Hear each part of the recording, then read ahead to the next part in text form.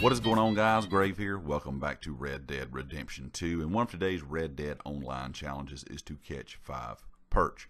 Now, the best place to do this, of course, is where I just showed you there at that pond right here to the left of Valentine.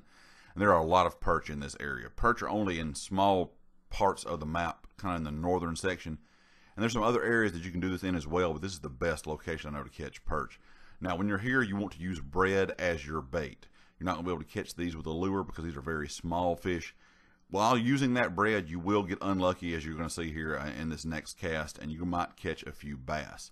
So this is not going to be just five straight casts of catching perch, but it still should not take you long at all. The best advice I can give you when you get here is pop your eagle vision, and you will see the different sizes uh, when you look out in the water of the perch and the bass. The bass, of course, are going to be the somewhat larger uh, fish. The perch are going to be the lot smaller fish that you're going to see out there in these little different pockets within the water. So cast into those pockets where those smaller fish are located, and you'll be able to catch five perch very easily.